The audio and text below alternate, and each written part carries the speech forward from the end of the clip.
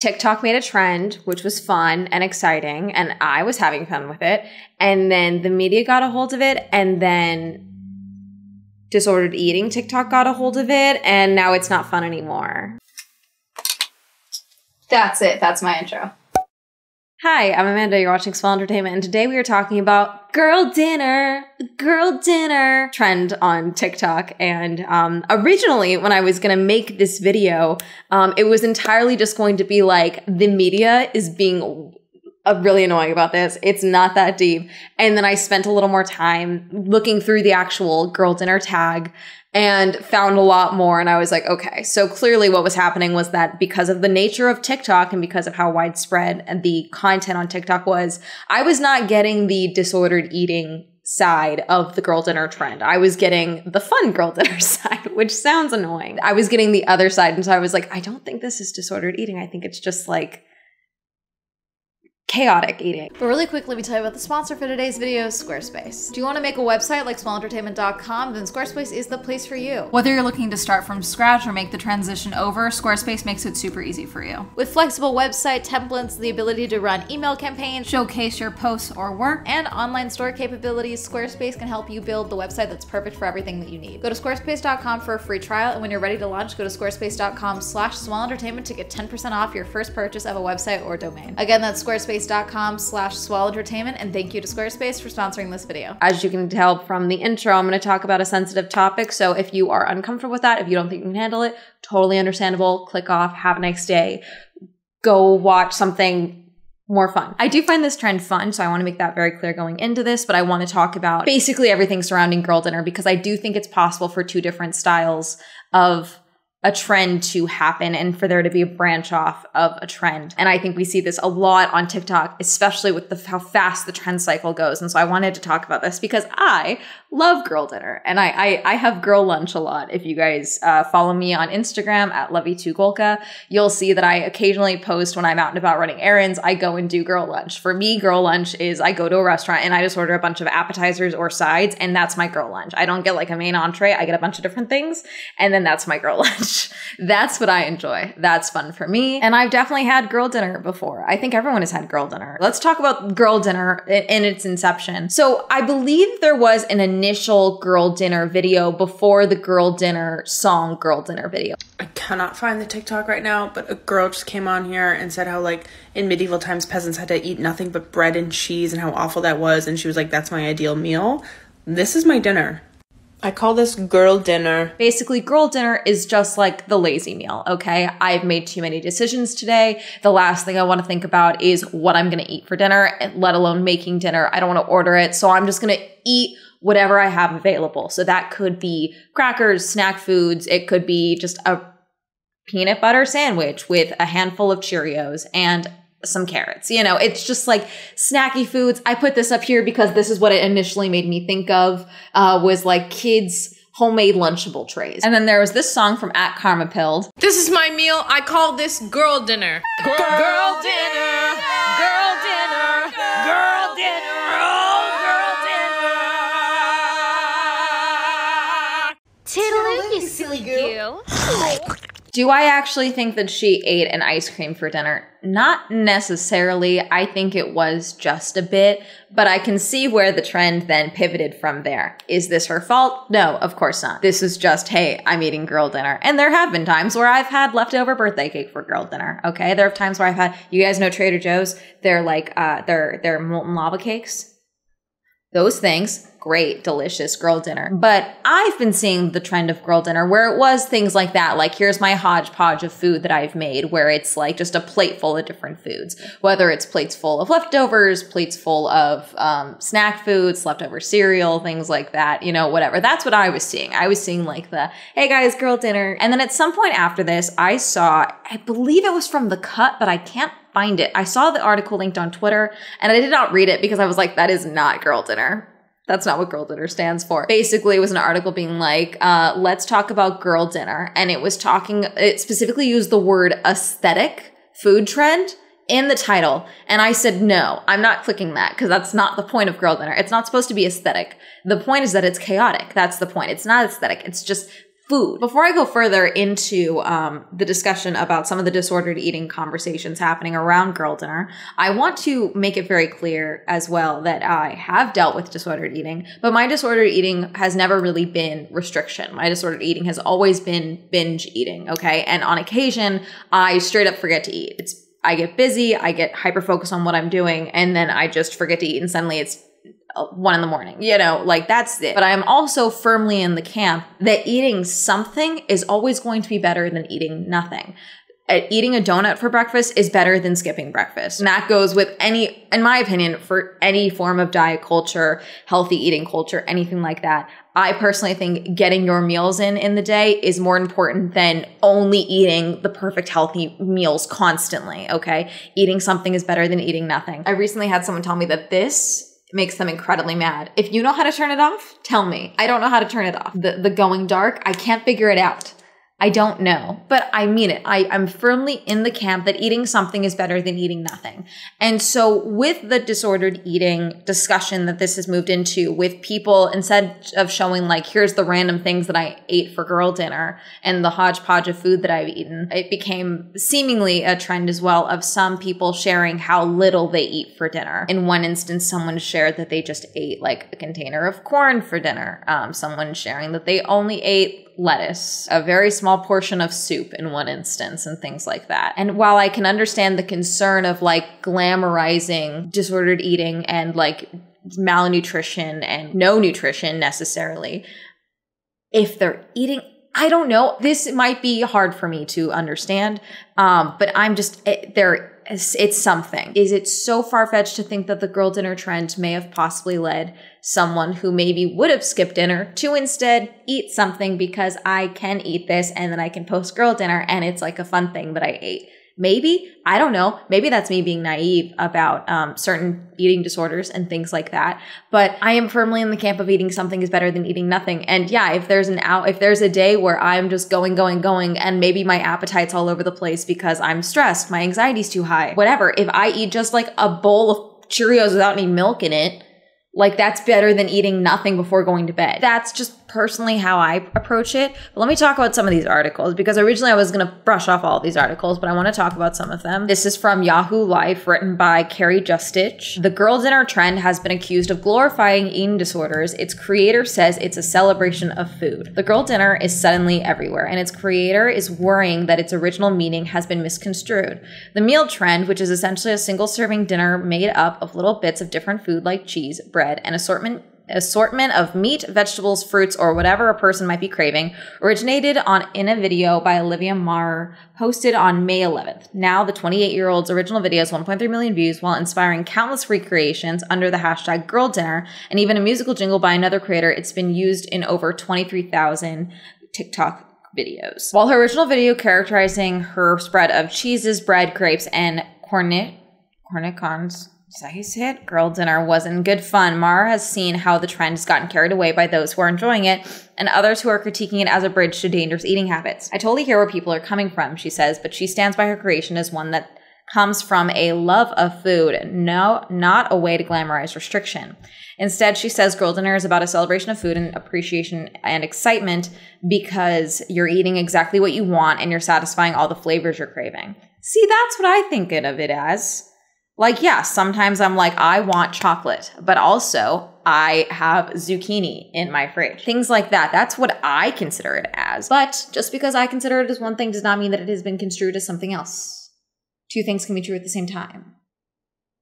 That's apparently been the motto for 2023, unfortunately. Being alone is part of the experience. I think this is also where maybe it's become an issue as well because personally I live alone, okay? Obviously, all of my girl dinners technically are girl dinners because I'm eating most of them alone, aside from Hermes, but Hermes is a girly girl when not a boy. You know what I'm saying? Technically, all my dinners are girl dinners because I'm just eating chaotically because I can. But something about it is like here the origins of the trend for the Yahoo Life article. Being alone is part of the experience, Maher explains, noting that the snack plate variation is what she'll eat when her boyfriend is out of the house in an effort to save time on preparing dinner. I don't need to make meat and vegetables or and starch or whatever. I'm not going to go get something big, she says. I'm going to just like eat whatever I can find, like hunt and gather from my own kitchen.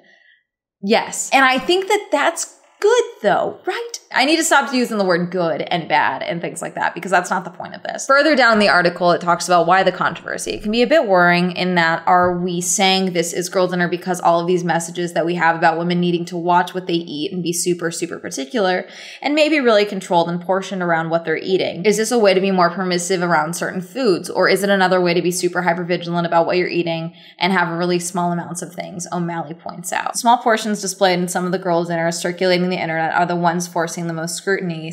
As one creator says, the trend has led to people to glorifying eating disorders. And while there are a handful of examples of satire, it's important to recognize how different individuals are being affected by the content because of diet culture. So many of these things can easily go one way or the other. Relationships with food are so individual and so personal. While media and social media is so not personal, O'Malley explains.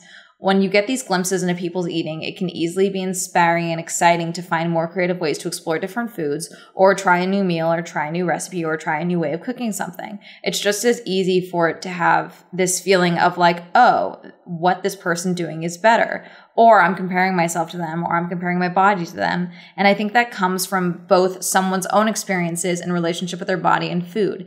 And it also comes from diet culture and all these other influences. We don't know how it lands with each person.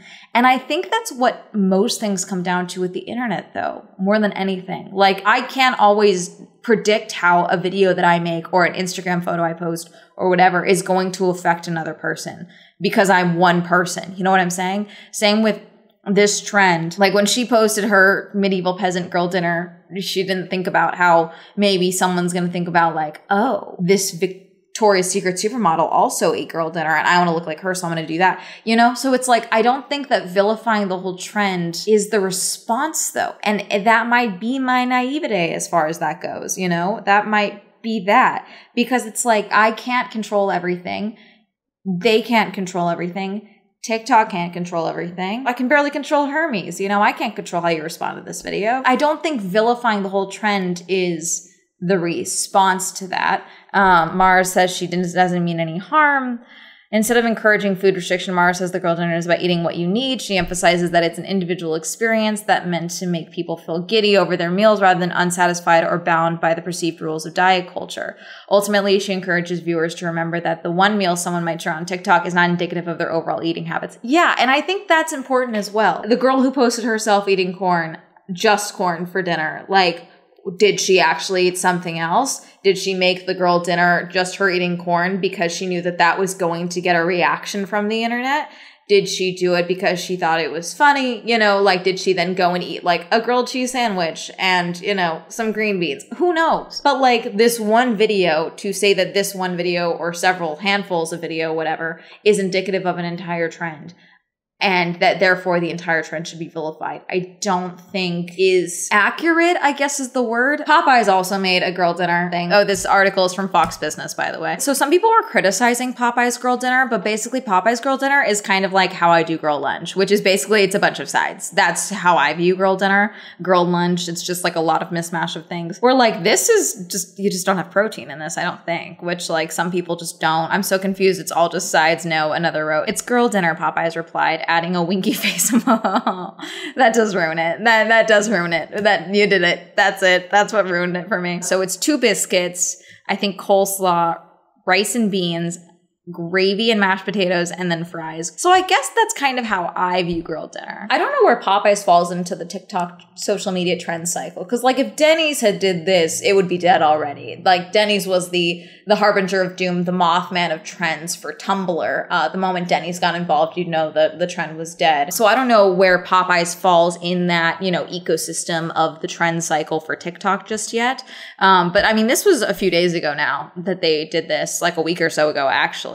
So, I mean, it's still happening. People are still getting girl dinner things. Um, there's also the girl dinner filter, which I did not discuss. Here's a different version discussion of it. This is from bonappetit.com. Chill Girl Dinner is literally just a snack plate by Ali Francis. If you've logged on recently, you've probably seen the TikTok craze machine's latest creation, Girl Dinner or snack plates for one. Yes, the internet has decided to rebrand my solo nights eating fruit nuts and honey drizzled hunks of feta off my stomach while eating while watching eating watching Gossip Girl reruns. The term has snowballed so out of control online that it's putting a major dampener on the IRL activity. Unfortunately, the trendification of girl dinner and the various controversies that have followed it have ruined a good thing. Basically, any assemblage of food intended to be a full meal can be girl dinner. The deluge of discourse started when showrunner's assistant Olivia Maher posted a video back in May shilling the virtues of her mismatch of cheeses and breads, sparking a slew of riffs. There's a lineup of bagel, crackers, pickles, salami slices, guacamole, and strawberries, a couple of ham and cheese stuffed tortillas with a glass of what looks to be Nesquik, and a very aesthetic plate of cherry tomatoes, olives, prosciutto, burrata, and plums under a shiny slick of olive oil. On TikTok alone, the trend has amassed 212 million views, up from 30 million just 10 days ago. We're embracing low effort over overexertion. Creator Alana Laverty, who regularly shares her girl dinners online, told Dazed who has time for an 8 to 10 hour workday to follow a 25 step recipe that requires 20 ingredients? Not me. As one commenter wrote, girl dinner is free-willing and indulgent, something a culinary bacchanalia. At face value, girl dinner is a delightful way to nosh. It's a perfect for the summer heat, no cooking, little cleanup, and the ideal for the end of the day when you're too exhausted to not eat foods that feel like a treat. My colleague Sam Stone wrote about the trend. But like any virtual movement, scale attracts scrutiny. In the weeks since Maher's original post started doing the rounds, the internet has been trying to determine whether girl dinners are something to embrace or reject. Things are very serious online. As we've witnessed time and time again, please see example A, butterboards, and example B, mouse moments, once a thing is given a name, the thing becomes an object of controversy. It needs to be said there's nothing new about the format. A British chef, Nigella Lawson, has pointed out girl dinners are really just picky bits. Other creators have written entire cookbooks dedicated to the concept. While see Girl Dinner hiding in plain sight on restaurant menus around the country. Jupiter in New York serves a bowl of cherries for dessert, and Botanica in Los Angeles features a bunch of dips and snacky small plates in it's charcuterie. It's similar to the bento-like plates, a combo of bite-sized carrot medallions, cheddar cubes, grapes, and almonds that my mom whipped up after school. Hell, it's basically tapas, a style of eating the whole ass country of Spain already got behind. Some see the trend as pushback on diet culture and a solid advertisement for intuitive eating. Many of the videos posted primarily by women, show them eating whatever they feel like. Others have said that some of the meals, such as the clearly satirical cigarette and a cup of tea, and the more er, sparse plates floating around online, promote disordered eating. It's an argument, unfortunately, reinforced by the chosen nomenclature girls, after all, are most at risk of developing unhealthy eating disorders, unhealthy relationships with food. Others have a problem with gendering any way of eating. That's just a divorced dad dinner on a plate, tweeted one user. As someone who has had the divorced dad dinner, I've had Burger King for Christmas Eve dinner. I've had that. That's that's that's divorce kid culture, you know. Don't don't mock my I'm sorry, I'm being an asshole now. Okay, I'm gonna stop there. I'm gonna link the articles that I talked about. There's a few others that I'll probably link because some of them do have uh, good points as well as ones that I think I'm like, mm, I don't think it's that deep, but I'm I'm listening. You know, um, why TikTok girl dinner trends is giving dietitians a pinch of pause from Well and Good. The New York Times is it a meal? Is it a snack? No, it's girl dinner. What is girl dinner? And Ken TikTok. They're all yelling at me for using an ad blocker right now. So thanks. But basically, that's from CBS News. So I'll link these down below. My opinion, again, I think eating something is better than eating nothing, in my opinion. And just because someone posts one meal or one video to a trending sound on TikTok is not a um, encapsulation of their entire diet, in my opinion. And I've talked about disordered eating and other trends on uh, social media as well, because, like, for example, the gut health movement and things like that on TikTok, I think that that is thinly veiled disordered eating. I think something like this can very easily be turned into a crutch, an excuse, a uh, no, I'm not uh, not eating. This is girl dinner, you know. But I also think that like Mm, I don't think that the, the phrase girl dinner in itself is inherently harmful, in my opinion. I can understand having an issue with just gendering a type of eating at all. I can totally understand that. But also, I think that there's like worse things to call this. I mean, honestly, I think calling this peasant dinner would probably be even worse, you know, than girl dinner. Peasant dinner peasant dinner that doesn't have the same effect. I don't know. I don't have a problem with being a girl you know? I don't have a problem with saying that things are girl stuff. And i'm assuming there's a lot of people that feel that way as well. And if you're taking that as some form of TERF statement go fuck yourself. I will block TERFs on sight. Anyone can have girl dinner. That's kind of the point. I think that things can be interpreted any number of ways on the internet. So i'm not going to sit here and be like is this good or bad? It's logical to have concerns and i also think personally I don't have a problem with girl dinner. I know this isn't really an ending. It's just kind of like a here you go. I've explained this to you. Take it as you will. Um, maybe you disagree with me though. Maybe you do think that the entirety of the concept of grilled dinner of, or even just the concept of eating anything is better than eating nothing is inherently harmful. If you disagree with me, feel free to literally let me know. Tell me. Let me know. Have you seen girl dinner? Have you posted about girl dinner? What do you think about the girl dinner song? Have you had girl dinner this week? Let me know. Comment down below. Reminder, I have a podcast, the Swell Hands Podcast. Reminder that Swell Entertainment is now available on Spotify the day after posting. This will be available tomorrow. Blah, blah, blah. Shout out to my patrons. Thank you so much for supporting me on Patreon. If you also explore me on Patreon, levels down below. Like to follow me on social media, that'll be up here. And that's going to be a the day. Goodbye.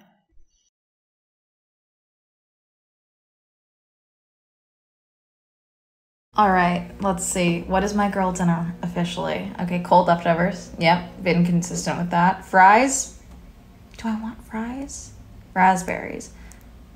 Not bad. Thank you, Amy, Andrew, Allen, Awful, Aslan, BJ, Cameron, Christopher, Chris, Crispy, Crispy, Crash, Shannon, Corey, Daniela, Dirty One, Dawn, Donnie, Elliot, Evan, Eric, Eal, Ghostly, Hopeless, Homer, Jay, Incognito, Jasmine, Joe, John M, Jordan, Joseph, Kenny, Kim, Kristen, Lauren, Lamb, Leah, Lex, Louisa, Luis, May West, Madeline, Matt, Matthew S, Mewmord, Medic, Michael, Michael J, Michael T, Micah, Nathan, Hat, Pen, Pink, Philip, Richard, Rob, Rosie, Red, Robert, Ross, Ryan, Sam, Serena, Skylar, Simon, Tasha, Timothy, Heavenly, Plastic, Tyler, Tenzin, Tom, Thomas, Qwerty, Victor, Randy, Winter, Will, Wendy, Williams, Endries, Wink.